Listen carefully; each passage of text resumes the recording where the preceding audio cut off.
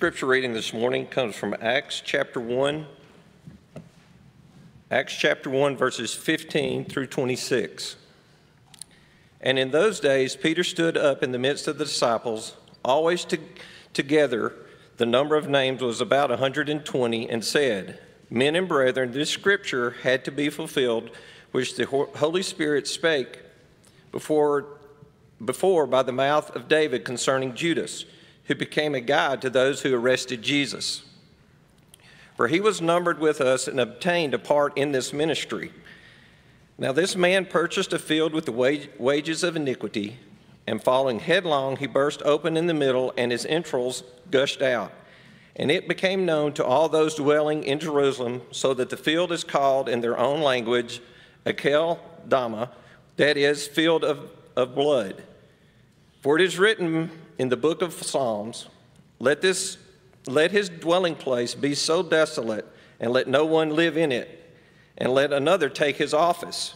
Therefore, of these men who have accompanied us all the time that the Lord Jesus went in and out among us, beginning from the baptism of John to that day when he was taken up from us, one of these must be must become a witness with us of his resurrection. And they proposed two Joseph called Barsabas, who was surnamed Justus, and Matthias. And they prayed and said, You, O Lord, who know the hearts of all, show which one of these two you have chosen to take part in this ministry and apostleship from which Judas by transgression fell, that he might go to his own place. And they cast their lots, and the lot fell on Matthias, and he was numbered with the eleven apostles.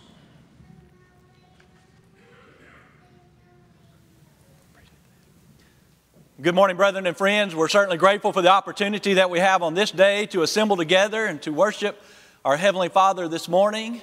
In the last hour, we were here together for Bible class, and now we're grateful for this opportunity and this hour as we worship together. We're thankful to all who have led us in our worship up to this point, thankful to all who taught in our Bible classes uh, in the last hour, and we're thankful to all of you who are here uh, we have been looking forward to this day for uh, many weeks now. We, as the Lord's saints, always look forward to the first day of the week, but this day is a little extra special, I suppose, in that we have a lot of guests with us, visiting with us today. Some just visiting, but many who are the family members of our college students, and we thank you for coming our way and being with us uh, today, allowing us this opportunity to get to know you. We're grateful to have uh, your children, your grandchildren in this area and worshiping with us. We're grateful to our college ministers and their wives and the college students who have been here for a few years and uh, working together with those who are new to UNA or one of the other universities and to this area. And we're just grateful for the time that we have to, to assemble together and work together here at this place and worship together to seek to glorify God. We're looking forward to our fellowship meal following our worship this morning. We're looking forward to this evening when the young ladies will lead the ladies at 4 p.m. in the annex, and then the young men will lead our worship in here at 5 p.m. So, an exciting day, a lot going on today. Our study will be in the book of Acts, chapter 1. If you want to leave your Bible open there, we will not leave Acts, chapter 1. I'll probably reference other scripture at least once, Matthew chapter 26 and verse 50. But we will not leave Acts chapter 1 if you would like to go ahead and leave your Bible open there as we talk about filling the void. Grateful to Charlie and reading our text, but I want to go back and begin in verse 9. This was the text that I submitted. This is where the bulk of our study will come from, verses 15 through 26.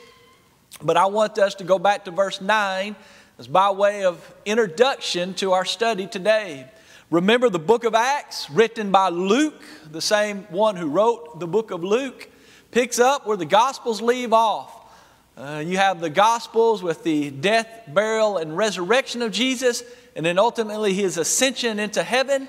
And that is where Luke picks up. If you notice the first eight verses, Jesus, after the death, burial, and resurrection, speaking to his apostles, giving them final instructions. Then you notice in verses 9 through 11, is where he ascends into heaven. Picking up in verse 9, when Jesus had spoken these things, while they watched, he was taken up, and a cloud received him out of their sight. And while they looked steadfastly toward heaven as he went up, behold, two men stood by them in white apparel, who also said, Men of Galilee, why do you stand gazing up into heaven? This same Jesus, this one who was crucified for you, he is the one that he is going to return, and you will see him. You'll see him come in like manner, just as you saw him go into heaven. So you have the ascension of Jesus. Now I want you to think for a moment those of you who are members here at Wood Avenue, you've heard me say this before that when you read the Bible, try to, try to place yourself there. Try to stop if you can, get in a quiet place and just place yourself there. What, what would it have been like over the last uh, five or six weeks? You have 50 days, of course, from resurrection to Pentecost, 40 days when Jesus ascends into heaven. So, over the last few weeks, what would it have been like to be one of these men, one of these apostles? You know, everything that happened the betrayal, the crucifixion, the resurrection. And now you're, you're receiving some of these final instructions, and you see Jesus taken away from you, lifted up into the heavens, the ascension back to God in heaven. Imagine what it would have been like during that time. So they're gazing up into heaven. They're looking up, and these two men in white apparel, these two angels say, What? Why are you doing this? He's, he's going to come back.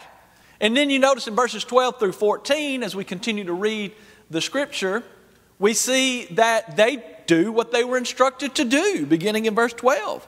Then they returned to Jerusalem from the mount called Olivet, which is near Jerusalem, a Sabbath day's journey. When they had entered, they went up into the upper room where they were staying. While I read these names, count to yourself Peter, James, John and Andrew, Philip and Thomas, Bartholomew and Matthew, James the son of Alphaeus, and Simon the Zealot, and Judas the son of James. Circle back around to that a little later. In verse 14, these all continued with one accord in prayer and supplication with the women and Mary, the mother of Jesus, and with his brothers. So there you have your text leading up to what's going on. They go back to Jerusalem as they were instructed, and here they are.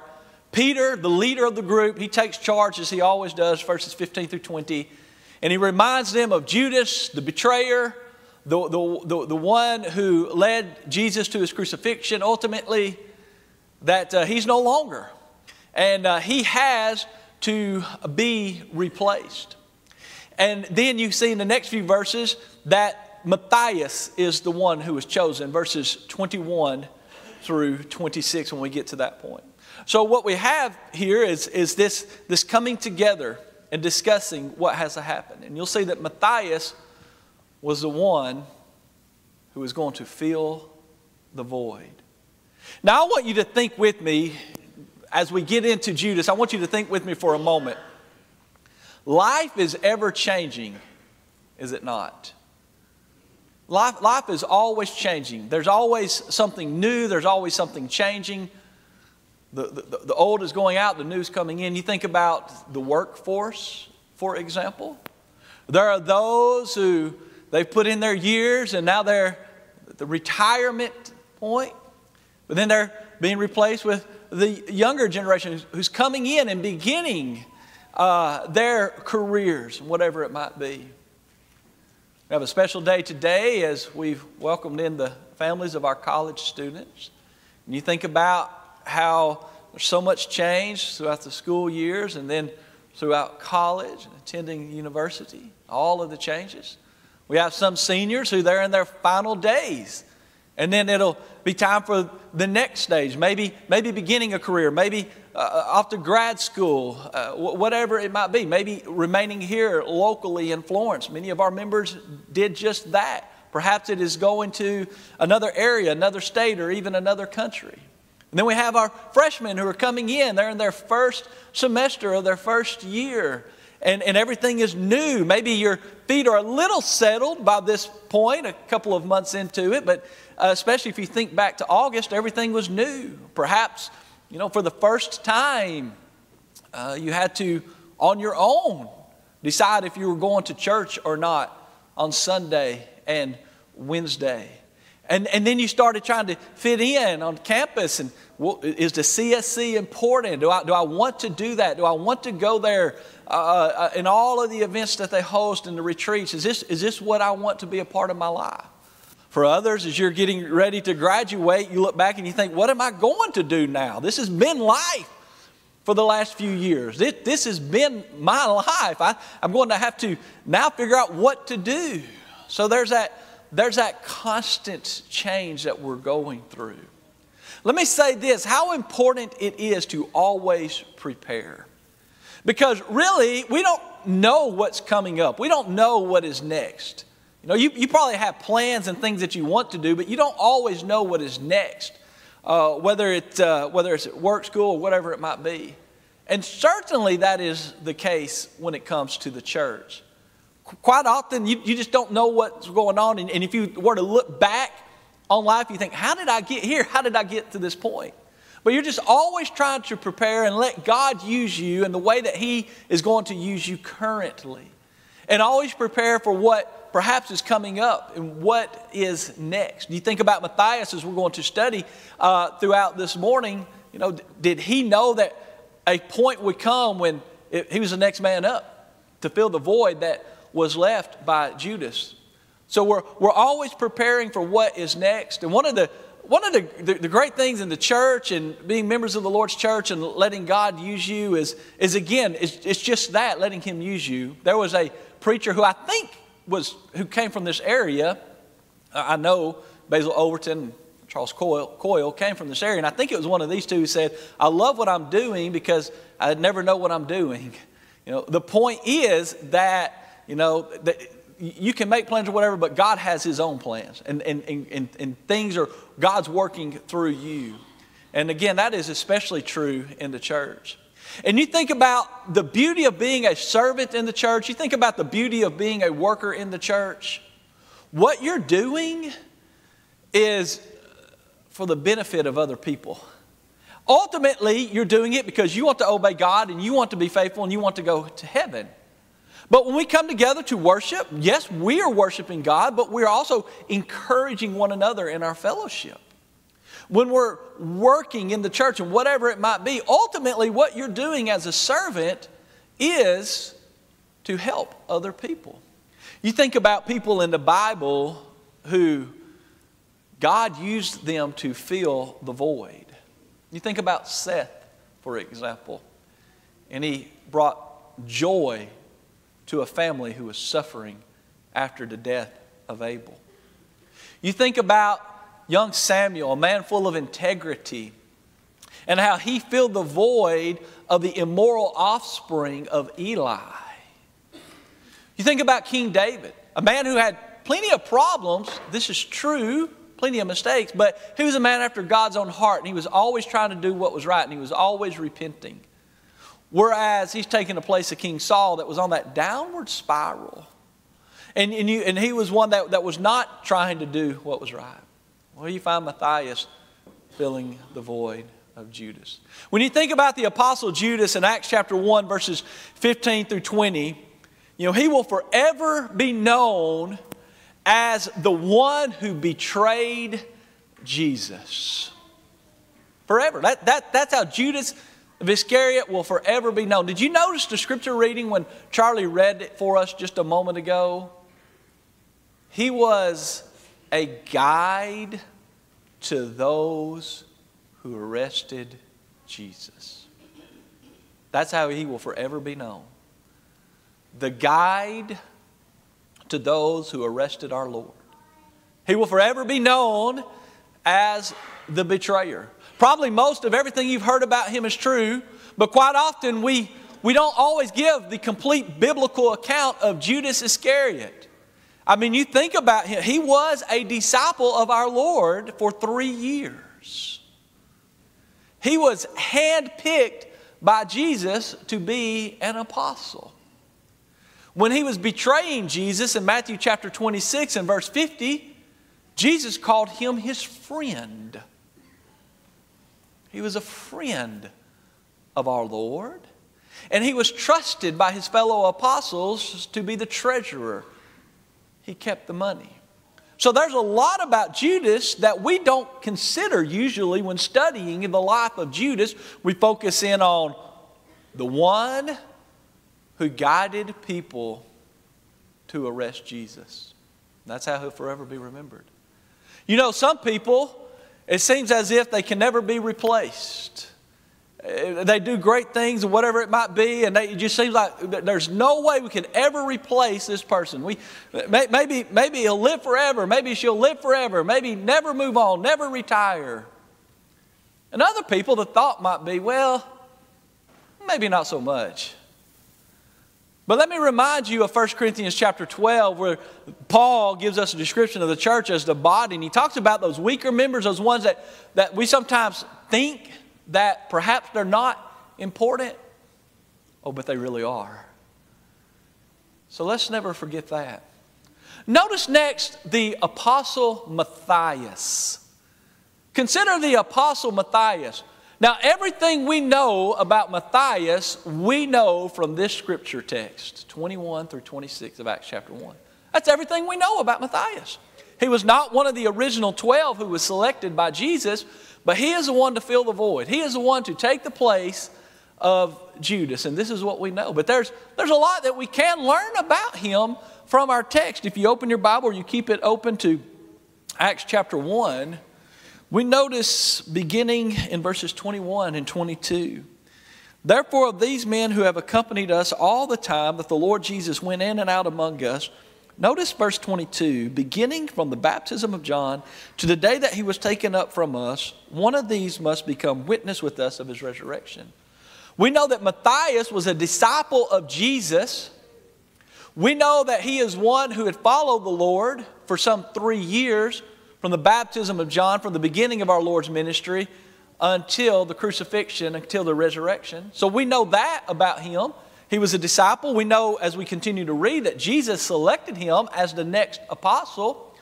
We know that here was a man who remained faithful to God. Let's go back and insert ourselves into the biblical text. You're less than two months since the crucifixion, five or six weeks. And yet he has remained faithful. Do you remember in John chapter 19? that the apostles were meeting in the upper room for fear of the Jews. These Jews very well could have said, let's just kill them all now. Let's stop it all. We, we, we, we, we've cut off the head, so to speak. We've crucified him. Let's just go ahead and wipe out the rest of them and be done with this movement. And he remained faithful to God. That's something that can be said about Matthias. He remained faithful during difficult days, during difficult times. We see that this man, Matthias, in verse 23, he gained the respect of the other apostles. In verse 23, they proposed to Joseph and, of course, Matthias. So, so, so he gained their respect. And we notice also, as we read earlier, there were about 120 disciples gathered together. Some of them were women, as we know, Mary, uh, the mother of Jesus. But we see out of all of these disciples, only two were qualified. Only two were qualified to serve as apostles. That's one of your proof texts, by the way, that there are no apostles today when you look at the qualifications. If someone ever tries to tell you that they have apostles in their church, Acts chapter 1 says, no, they do not. But we see this man Matthias. We see next, verse 24, the importance of prayer. We are learning about the life of Matthias. We, see that he was qualified. We see that he gained a, the respect of the other apostles. We see that he lived a life that they turned it over to prayer in verse uh, 24. They prayed and said, You, O Lord, who know the hearts of all, show which of these two you have chosen. You need to always, again, you don't really know what's going to happen tomorrow or next week or next month or next year.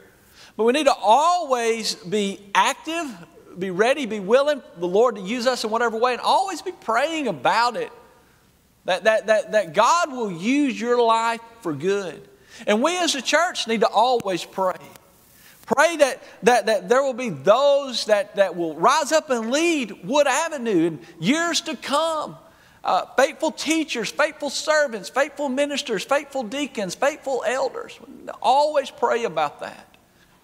And we need to see and notice in verses 25 and 26 that it was the Lord who selected this man, Matthias. We need to always leave it to the Lord.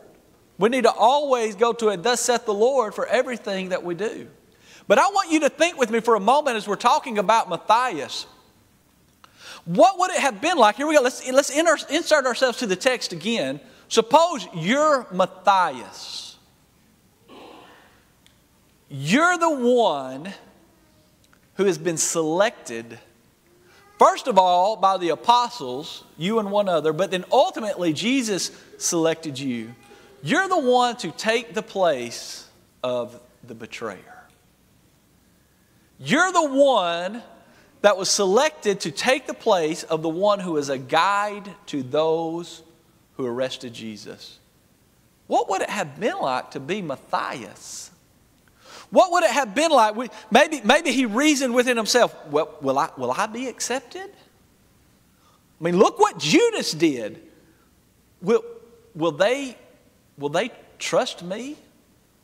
You can only imagine all of the questions that were running around in his head. And, and, and, I've mentioned before, perhaps some of the challenges that the apostles and early church saw on the day of Pentecost forward. You know, if I'm an unbeliever and I don't believe that Jesus really is the Christ, I think my argument against the apostles would be wasn't it one of your own that Jesus handpicked that betrayed him?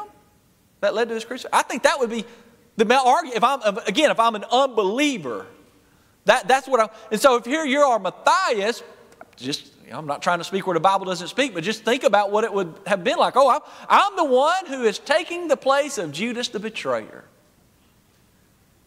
Think about the challenges that could be there. Do not ever defeat yourself. If you defeat yourself, then, then, then you, can't, you can't move forward to be victorious. Quite often, we're not able to do what God knows we can do because we defeat ourselves. Discouragement is one of the devil's greatest tools. And when you get discouraged, when you defeat yourself, and when you say, I can't, or I won't, or I'm not qualified, then you've taken your place out of the work that God knows you can do. What if Matthias would have reasoned within himself that, you know what? I think the other guy is better. I, I think Joseph can do this job better than I can. So you, I, I'm going to step out of the way and I'm going to let, I'm going to give it to Joseph. You know, in whatever work that you're doing, there, there's probably someone who can do the job better in some ways. That's just the way it is. But whatever you're doing right now, you're doing it. So don't worry about what anyone else would do. Don't, don't worry about how someone else would do the work. And especially what we're talking about in the church, don't worry about it. Maybe learn from them and pick, pick up, you know, by example and, and, and seek advice. But you're the one who's in the place to do it right now. Whatever your hand finds to do it, do it with all your might. Song leading, teaching, praying, preaching, visiting, door knocking, uh, helping out with the building, whatever it might be. You're the one in the position you are in currently so do it to the best of your ability. Again, what if, what if Matthias would have said, Oh, I'm going to bow out? I'm going to let somebody else do this. I read an article, uh, newsletter, just a few days ago from a missionary to the Pacific Islands. And he told this story that was really interesting, and it fits in well here. Uh, some 50 years ago or so, they were, he and his wife, living in uh, Samoa in the Pacific Islands.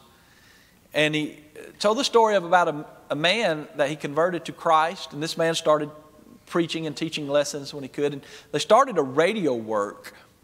And uh, the, the American brother wanted this local to start preaching on the radio. Said the first two times he got so sick that he could not even preach. He couldn't do it. What if he would have said, I, I can't do this. This is not for me. You know, just give. I've tried it once, I've tried it twice. I, I, I just can't do it. But he didn't do it. He kept on by, by the third time, third time's a charm, right? And he, and he started preaching on the radio. And he preached on the radio for two years. And as far as they know, in radio work, you really don't know who all you're affecting. But as far as they know, no one was ever converted except his wife. They studied with her a number of times, and she never would become a Christian. But hearing him go over these sermons at home as he's practicing his sermons, and then hearing them on the radio, she eventually became a Christian. What if this man had said, I can't do it. I just look at, I'm getting physically sick. I'm just, I'm done. But instead he said, No, I'm going to do this. And eventually he converts his wife. Fast forward some 50 years, these two eventually moved to New Zealand, started the Lord's church, faithful members of it today, with about 75 members in the congregation where they worship. What if this man would have said, you know what? I'm not the best. He, he, he probably was, will never be the best radio preacher, the best pulpit preacher, or whatever, but none of us are. None of us are. We're just doing the best we can do at this point in life. We always want to do that. But consider the apostles and the disciples. When you think about the apostles and the disciples in our text, you think about what they did to help Matthias become a working member in this apostleship. Number one, in verse 17, as you see, they did not compare him to Judas. Peter says, you know, Judas was numbered among, he was. He was an apostle. He was right there with them until the end. What if, it would have been wrong for them to say, you know what? Oh, we, we're going to keep our eye on the new guy. What if he does to us what Judas did to Jesus? That wasn't what they did. They, they, did, not, they did not compare him to Judas in that way. They did not uh, Uh, immediately find fault in him for something that someone else has done. Quite often we'll do that if we're not careful. I had to raise funds for a decade to travel overseas and preach the gospel. I, I don't know how many times I've sat before elderships and they say, you know what, we tried that and it didn't work, so we, we're, we're done supporting mission work. So I'm suffering because of the decisions of another person. Or, or, young men wanting to go to preaching school. Well, we did that once and the guy didn't do what he said he was going to do, so we're done with that. The devil's winning, is he not? Well, would you keep it all in the bank account and build that? I don't know how many times I've heard eldership say, Our next preacher, you know what? Let me tell you what he's going to do. And they're basing it on what the current preacher is not doing. And I thought, well, instead of stepping up and leading and shepherding in the way that you should, you're just going to take it out on the next guy. All too often, we interact with people and we treat people not in, in, in ways that is not fair, but rather in ways and actions of other people. they fellowshipped, as you notice in verses 14 and 15. Quite often, we hinder the work of the church and those who are ready to step up and step in because we simply do not know one another. They were in fellowship with one another. And notice in verse 23, they selected the only two men who were qualified. They did not use the buddy system. What if there was another disciple out there who was a faithful disciple but not qualified to serve as an apostle? And they say, you know what? He's not really qualified in all the areas and all the ways, but I've known him for so long. And, you know, look, look at everything that we've been through together. Let's just go ahead and put his name in there too. That wasn't the case. They left it only to those who were qualified. They prayed about it showed their dependence on God in praying about it. And then they worked together, verses 25 and 26.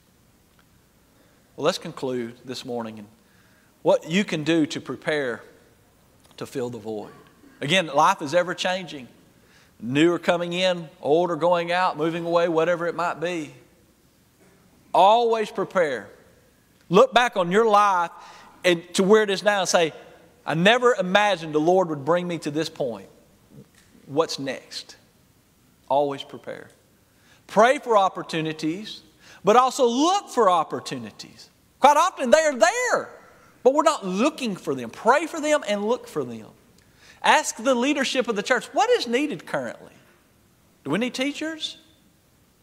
Do we need people to invite others to church? Do, are there members here who need they need a ride to church?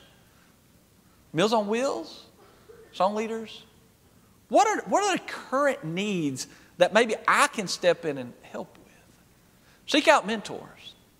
Seek out those who help to train you in the areas perhaps that you want to be involved. Realize that you're going to fail. We all do. But don't let failure stop you. Learn from it and continue on. Quite often, we don't fill the void because we think it's bigger than what it really is. it's baby steps, it's the little things in life that you do over and over and over make a big difference. Believe in the power of God to do great things in your life. So, for, to all of us, let's continually do anything that we can to be like Matthias and say, All right, it's my turn. Let's go to work.